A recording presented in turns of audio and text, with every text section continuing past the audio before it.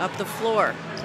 Cousins. Allen able to get back defensively and block that. Great rundown block. Chiozza to Allen to McCray for the layup.